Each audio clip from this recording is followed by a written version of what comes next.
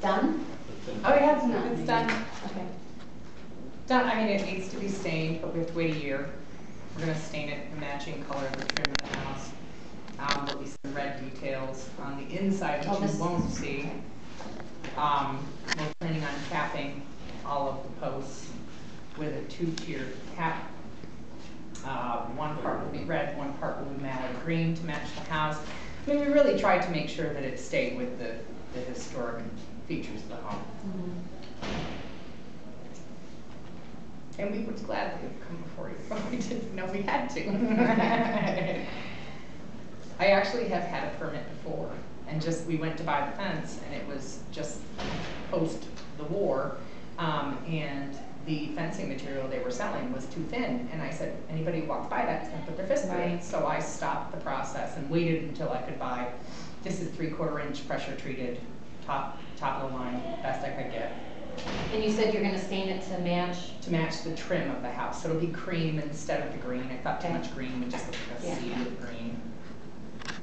Yep, and we'll start that next spring. They told us to wait a year so that it could season.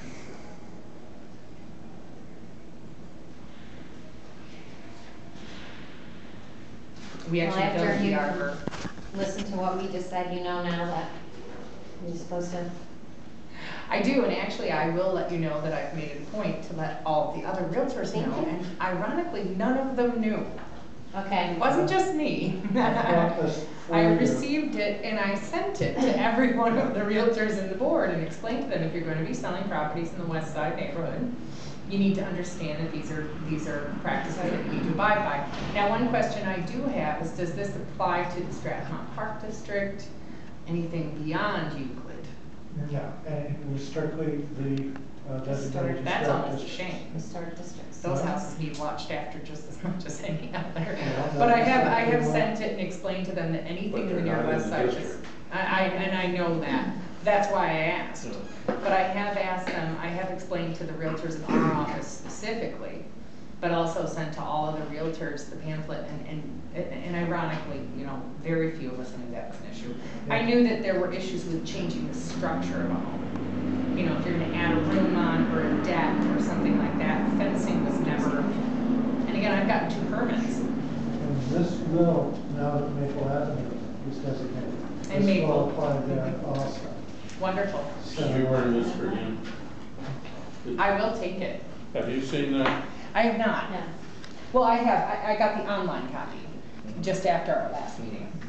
Now you have that. Uh, Yeah, as I said, this will apply in all the historic districts, be it the near west side, the Maple Avenue district, Mm-hmm, or the, the downtown government district. sure, Uh, sure. The people of Strathmont, if they would like to be a historic district, there's a process. I'm sure the people people on Maple Avenue would be happy to uh, Explain explain it to that you, process. yeah. I bet it's quite a process. It, it is, yes. But I, but, but again, I just am wondering, because I've sold a lot of houses up there, I actually had a question regarding fencing Right. on Hoffman Street, and I told them I wasn't sure, so I would ask this evening, so.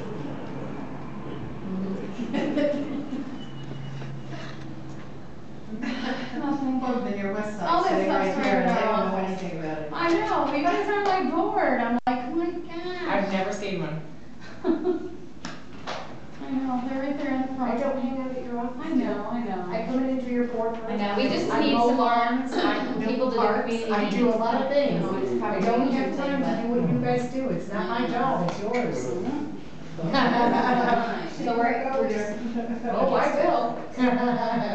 We're, uh, we're gonna try to make a point. I have a of, property, a damn good one, when and they thank you. close, And When thank you. pick up their paperwork. That way, A damn they've got, they've got notice. Don't tell me. You Read the book, mm, be a heck of a lot easier than going to. Well, you know, I think part of it is, is with new homeowners, we need to make sure that they get this. And the very least, I mean, I'm, we're talking about an office of thirty-five realtors on, in the near west side who've never seen this. right, So wh- whose, whose responsibility is it? We have to learn the laws and regulations of selling houses. This is an addition. Mm-hmm. And one of the things we talked about actually was setting up workshops so that the commission could explain the process, right? Mm-hmm. I think that's a great idea. Yeah. And, you know, we're all, we were always involved. I mean, we had to learn about flood insurance and, you know, the number of things that we involve ourselves in that have nothing to do with selling houses is immense. So if we don't know about it, mm-hmm. You know, it really is a shame. I mean, they should know, as an organization, we should know this. And I'm happy even to propose, we, we do what we call a lunch and learn, where we teach the new realtors, you know, different aspects, but we're talking about people who've been in the business for thirty years who didn't know about this. That's a shame. And we're allowing people continually, you know, the people who bought the Blandford house on, on, uh, Grove Street. I sold the house. I didn't know. I sold the house to them, you know? I didn't know what to tell them or where to, you know, mm. so we, we need to